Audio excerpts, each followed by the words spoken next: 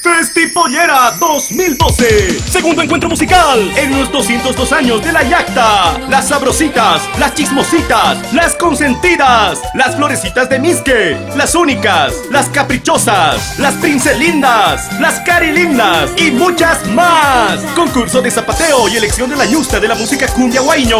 Venta de entradas, Estadio Félix Capriles desde las 8 de la mañana. Festipollera 2012, miércoles 12 de septiembre, desde las 4 de la tarde. tarde.